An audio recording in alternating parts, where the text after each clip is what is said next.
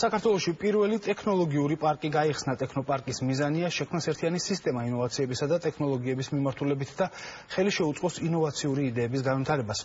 ეს არის უნიკალური შესაძლებლობების სივრცე დამწყები და პატარა კომპანიებისთვის. ეს ხელმძღვანელობის სხვადასხვა ხეების დამზადება.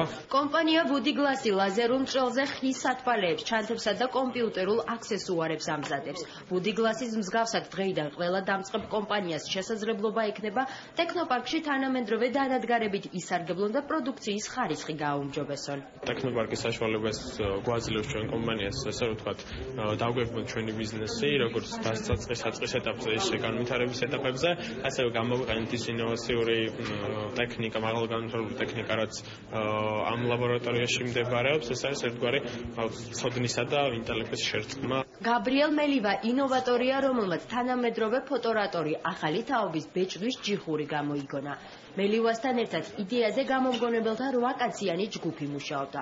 ფოტორატორის შემქმნელებმა მართალია თავიანთი პროდუქტი უკვე ექსპორტზე გაიტანეს, თუმცა ფიქრობენ, რომ ახალი ტექნოპარკი მათი ბიზნესის განვითარებაში დაეხმარება. გვაქვს საშუალება, რომ აქ ტექნოპარკში უკვე დავესწროთ სხვადასხვა ტრენინგებს და ვიმუშაოთ სხვა სტარტაპებთან ერთად, რაც ძალიან დიდი პლუსი არის ზოგადად სტარტაპისთვის და ტექნოლოგიებისთვის. ინოვატორულ ცენტრში მისულ გამომგონებლებს საშუალება ექნებათ არა მარტო ტექნიკით იზარგებლონ, არამედ მიიღონ კვალიფიციური კონსულტაციები და გაიარონ სასწავლო კურსები. ქვეყანაში მომუშავე მსხვილმა კომპანიებმა კი უკვე მიავლინეს ცენტრში თავიანთი წარმომადგენლები, რომლებიც ყველა დაინტერესებულ პირს საკუთარ გამოცდილებას გაუზიარებენ. წარმოვადგენთ Intel Edison-ს პლატას, რომელიც საშუალებას აძლევს ზუსტად აქ მომხდარ ხალხს რომ ხორცშიასხან თავის ოცნებებს და იდეებს და თავისი პროდუქტივები გააცოს ხომ რეალობაში. ამ პლატის საშუალებით მათ შეუძლიათ დააპროგრამონ და გააკეთონ ნებისმიერი რაღაც ეს იქნება რობოტი,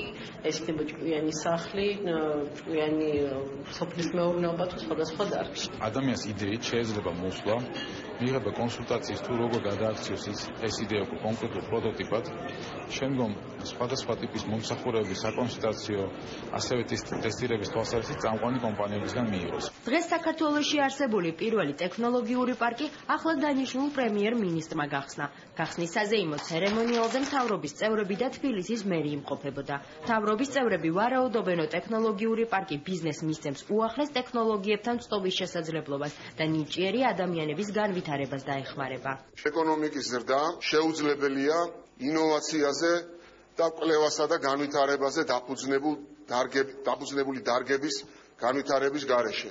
ამიტომ ეს სივრცე, სადაც ახლა ჩვენ ვიმყოფებით, იქნება სწორედ ის სივრცე, სადაც მოხდება დაფუძნება და პირველი ეტაპის გავლა იმ კომპანიების მხრიდან, რომლებსაც ამ მიმართულებით განსაკუთრებული პოტენციალი გააჩნია. ყველა ეს მოწყობილობა დანადგარი და ყველა ეს მომსახურება, საკონსულტაციო მომსახურება, რომელიც აქ არის თავმოყრილი, შესაძლებლობას მისცემს ჩვენ ახალგაზრდებს, რომ მათ თავიანთი იდეების ჰორიზონტი ძალიან გაზარდონ. ჩვენ ვიმედოვნებთ, რომ მომავალში ამ სივრციდან წამოვა არაერთი ძალიან დიდი იდეა. ეს მიცემს ყველა ადამიანს, განსაკუთრებით ახალგაზრდებს, იმის საშუალებას, რომ თავიანთი იდეები, ასე ვთქვათ, გარდაქმნან რეალობაში.